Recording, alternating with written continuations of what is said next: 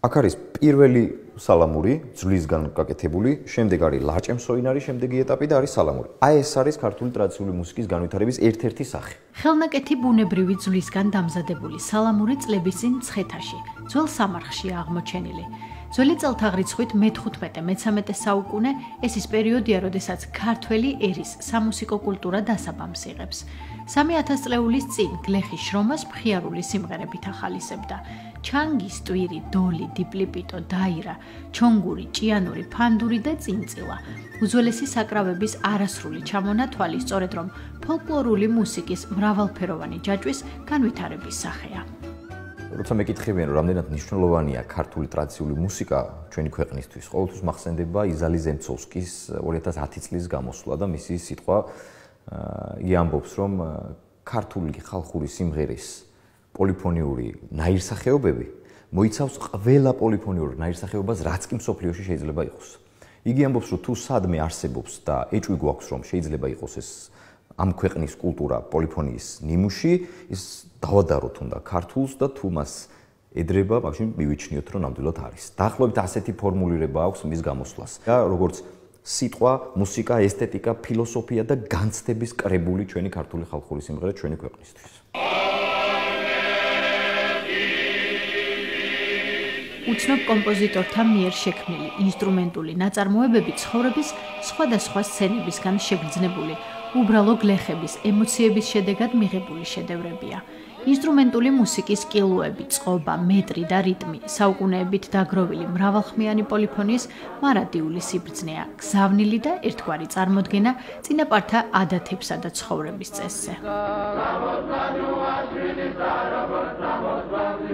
მე ვფიქრობ, ქართულ მრავალხმიანობაში, ქართულ ტრადიციულ მუსიკაში ყველაზე უკეთ არის არეკლილი ქართული კაცის საუკეთესო პიროვნული თუ სულიერი თვისებები. და ეს ჩანს აბსოლუტურად ყველაფერში.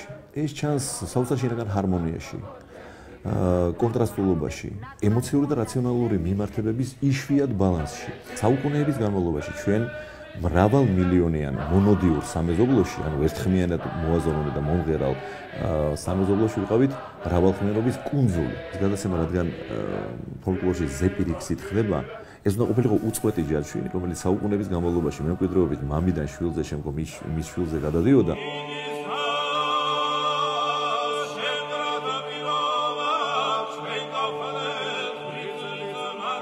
ჩაკრულო, ხასანბეგურა და მრავალშამიერი.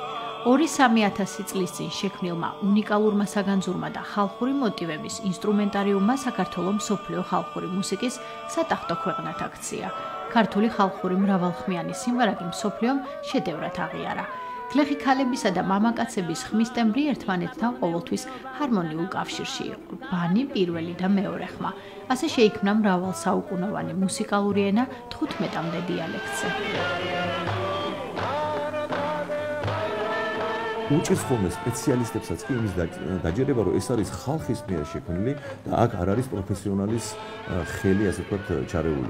იმდენად განვითარებული. განსაცვიფრებელია რაფინირების ის ხარისხი, რომელიც ფოლკლორმა საკუთარ თავში მოახდინა, რომ წარმოუდგენელია რომ აღიქვა რო თქვა შემოქმედურა ხასამეგურა ანუ კახური მრავალჯამიერი ვინმე მაიღოს მასალად და ამაზე უფრო ღირებული შექმნას ყოველ შემთხვევაში დღემდე ეს გენიალურმა კომპოზიტორებმა ვერ შეძლეს. მაგრამ სწორედ ფენომენი ქართული მუსიკალური ფოლკლორისა სწორედ ამაშია რომ განვითარების ისეთ ხარისხს აღწევს რომ როგორ გითხრათ მწვერვალი უკვე მაშივია გამომზეურებული და ეს კიდე ერთი უნიკალური თვისებაა ჩვენი მუსიკალური კულტურის. დრო ისეთი რამ არის რომ მომავალი თაობები აუცილებლად იმას დატოვებს ძირზე და ფსკერზე რაც უნდა დარჩეს ამ ქვეყნიდან. ამ საუკუნიდან და ის ეს იქნება ანარეკლი ამ საუკუნის. ეს არის ქართული ხალხური სიმღერის ძირითადი ფუნქციაც.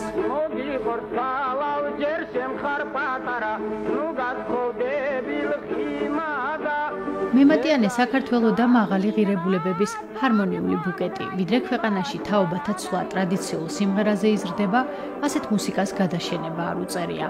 ხატრული ზეპირსიტყვიერება და ხალხური შემოქმედება ქართული კულტურის მარადიული ჟღერადი ხაზის თანამედროვე რეალობაში ძველის გაგრძელება.